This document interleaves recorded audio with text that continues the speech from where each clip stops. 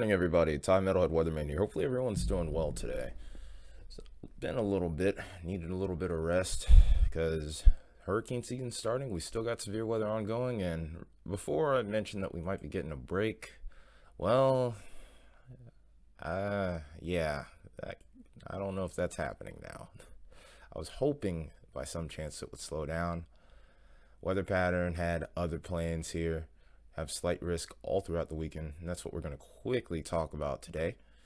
Do have a wind threat at 15%, hail threat, no hatched risk, thankfully, for either of those, and a very small 5% tornado threat that's been shifting a little bit. It originally it included Little Rock, now it's kind of on the uh, Louisiana Arkansas line, includes Greenville, Mississippi as well. Anywhere north of the Delta might need to be on the watch for the ch- increased chance of maybe an isolated tornado or two. We also have the Western High Plains on their typical madness as we get into the month of June. So overall, not an incredibly active Friday, but still something to watch very closely. The following day, tornado threat is pretty marginal as well. We're back towards West Texas again, towards New Mexico, and then also, of course, over towards Western High Plains. The main threats for tomorrow are going to be wind and hail when and hail has a hatched risk over towards colorado. This is getting over towards hail country so this is about that time year where we start to see that occur. So not too surprising there. Then we see severe threat push off to the north here including some of the northern plains states. Of central nebraska we have parts of eastern south dakota and parts of both north dakota and minnesota here. So getting into the dynamics here, looking at our 500 millibar, mainly looking for a trough at this point or any signs of a short wave. The short waves are usually shown better at 700, but sometimes you can pick up on them at 5. You do have a very weak trough right here. It's not very stout, so this also helps limit the severe weather threat. Usually, the stronger the trough, the better the forcing is, and that's a key component to severe weather. And like I said, you don't really see anything super stout at this point. I really think this is going to be a shortwave kind of mid-level based event as far as the trigger is concerned. And then as we continue to go forward, this is on to the next day. This is when we get towards the Western Plains and Western Texas. Pretty much going to be a similar deal here we don't have a super stout trough that we're going to be dealing with. And that's why I think we're getting a little bit of a downtrend with severe weather, but it doesn't mean that we aren't going to see any severe weather, for lack of a better term here. So again, let's go ahead and look at that 700 millibar region.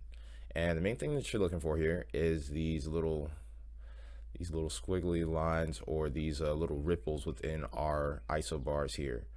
If you see that associated with the trough, the the uh, lifting mechanism or the short shortwave trigger is more prime for severe weather if other conditions exist along with it. The as we all know, for anyone that's been watching for a while throughout the course of the last few months, we're gonna have plenty of moisture. The Gulf of Mexico has been pumping in moisture pretty much all year, so I do have some confidence in there being severe weather. Here's our short wave right here for tonight. We do have a secondary little area right here. It's not in like I said, these aren't the most impressive parameters that I've seen for any event, especially over the last couple of months. I've seen far more impressive, but still, threat is still there. So don't take it so don't take it lightly. Don't be scared, but definitely keep an eye on the weather, because one storm can go a step above all the others, and it can cause plenty of problems. And then as we get into Saturday, pretty much a similar deal. You can see little shortwave pops up here towards the uh, panhandle states here and then up towards the western high plains. And then as we get towards sunday we can't go to the full range of sunday but i do see evidence of what is likely to cause severe weather here. I do think damaging winds might be the main threat just from this look alone. Then we look at the key parameter for tornado genesis that is the low level jet. So the main thing I'm looking for right here is an area where we get up to about 30 knots and also directional shear. We don't have a lot of it. That's one thing. We don't have a lot of directional shear. If we had something that was kind of pushing a little bit more this way and was a little bit stronger, I would be a bit more concerned about that tornado threat. Timing just doesn't really match up or when those storms are anticipated to develop. So good news there. So, like I said, maybe an isolated tornado for tonight. Wouldn't expect a lot out of it. Then, as far as the following day is concerned, don't have much in the way low level jet available. Also, a thing to make note of here on the mountains.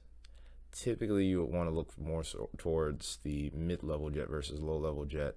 It's kind of it makes uh, forecasting a little bit more difficult there, but you can see a couple pockets here and there. So, two percent area does make sense.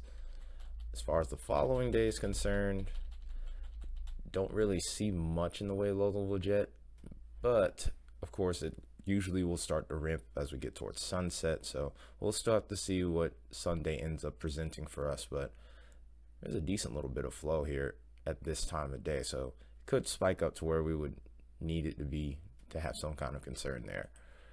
Now, as far as the dew points are concerned, like I said before, no real surprise we're going to be dealing with incredible amounts of moisture throughout the weekend. Of course, as I mentioned with today's setup, especially with it being over towards Arkansas, Louisiana, plenty of moisture available towards the western plains. I do think this I think this will help lean into more of a hail threat as we get into the following days. Really, this moisture return is going to determine a lot. And as in regards to the threat for the following day, I definitely am kind of leaning into that hail damaging wind threat, especially the hail threat. Then on the following day, we actually get a very uh, substantial moisture return over here towards the northern plains. And I do think that will help aid in the development of maybe a couple extra cells that could maybe produce tornadoes.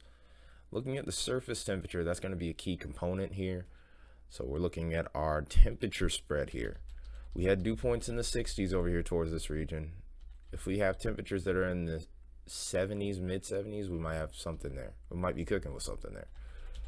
We definitely have that going on over here, but I do think this temperature spread might be enough to kind of keep things a little bit more limited. Forcing's already limited here too, which also kind of works in our favor. But if we go to the following day, massive increase in temperature. We get into those 50 degree temperature zones with 80 degree or 50 degree dew points with 80 degree temperatures. And you really, in the event of a tornado setup, you kind of want these a little bit closer together. The temperature is going to be in the mid 70s. You want those dew point in the mid 60s, if not closer to, if not uh, a little bit closer to what the surface tip is, or vice versa. But in any case here, thermodynamically, our setup is not looking impressive when it comes to severe weather, which is a good thing, honestly. So I do think hail, damaging winds are going to definitely reign supreme. Can't rule out tornadoes, but I think our threat is going to be a bit more mitigated. And really, that's what we're kind we were kind of leaning towards with the whole we're going to catch a break thing. It wasn't necessarily that we wouldn't see severe weather, but the tornado favorability will start to drop a bit. Plenty of instability still available though around the deep south here. You can see CAPE values exceeding above 1,000 joules per kilogram, usually the amount that you would need for severe weather. Really, like I said, the main limiting factors are going to be forcing and moisture here. And as we go over the course of the next couple days, we'll kind of see that continue. This is looking at Saturday here. A lot of instability over Colorado, West Texas again.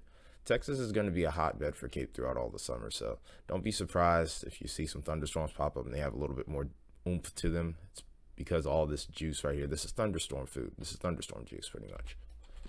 So we go towards the following day. This is Sunday. Actually see an impressive amount of CAPE here, so I'm kind of interested in seeing what Sunday will do from this point. Like I said, I'm right at the end of the model run here. It's 60 hours out. That's all I can do for this run, but there are definitely some signals on Sunday that kind of pique my interest a little bit. We'll have to see how it pans out from that point, though. So we'll lastly go ahead and take a look at what our simulated radar could look like. Obviously, we're not really tracking much in the way of snowstorms, but do have plenty of showers and thunderstorms to go through the deep south here and, and just really the plains in general throughout the day today. Strongest storms really look like they start to pop up a bit later in the evening. Convective mode also kind of has that look of more of a linear event. Could see some increased damaging winds. Maybe a prefrontal cell might have a shot at producing a tornado. see more discrete cells over here towards uh, the, the panhandles and over towards Colorado, which is kind of interesting. I do think again forcing might be a limiting factor, but there's a wild card in the way of the mountains here.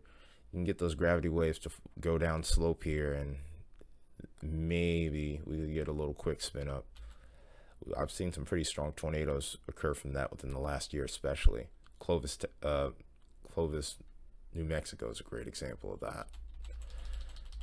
But as we continue to go forward here, it's the following day. Again, similar situation, storms over towards southern te southwestern Texas and also towards eastern Colorado. I think this is, will be the day where we get some big hail from that.